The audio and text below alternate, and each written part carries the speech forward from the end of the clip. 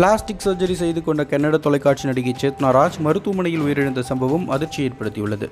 பெங்களூருவின் ராஜாஜி நகரில் உள்ள ஷெட்டியின் அழகு சாதன மையத்தில் ஃபேட் ஃப்ரீ பிளாஸ்டிக் சர்ஜரி செய்ய முடிவு செய்தார்.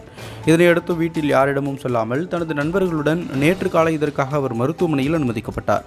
பிறகு சேத்னாவின் நுரையீரலில் பாதிப்பு ஏற்பட தொடங்கியதால் அவருக்கு சிக்கல் ஏற்பட்டதாக கூறப்படுகிறது. இதையடுத்து மயக்க மருந்து நிபுணர் மெல்வின் பிளாஸ்டிக் சர்ஜரி செய்த மருத்துவர்களுடன் சேர்ந்து சேத்னாவை காடை மருத்துவமனைக்கு மாலை ஐந்து முப்பது மணி அளவில் அழைத்துச் சென்றுள்ளார். மேலும் அவருக்கு மாரடைப்பு ஏற்பட்டதாக கூறி சிகிச்சை அளிக்குமாறு மருத்துவர்களை மிரட்டியுள்ளார். காடை மருத்துவமனையின் மருத்துவர்கள் அவருக்கு சிகிச்சை அளிக்க தொடங்கினர். இதனையடுத்து காடை மருத்துவமனையின் மருத்துவர் டாக்டர் சந்தீப் பசவேஸ்வரா நகர் காவல் நிலையத்தில் புகார் ஒன்றை அளித்துள்ளார். அதில் சேத்னா ஏற்கனவே இறந்துவிட்டார் என்பது ஷெட்டியின் அழகு சாதன மையத்தின் மருத்துவர்களுக்கு தெரியும் என்றும் அவர் குறிப்பிட்டுள்ளார்.